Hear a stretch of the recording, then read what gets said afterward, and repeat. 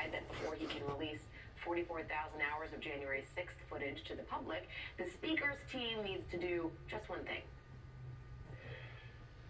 As you know, we have to blur some of the faces of persons who uh, participated in in, uh, in the events of that day because we don't want them to be retaliated against and uh, and, and and to be charged by the DOJ.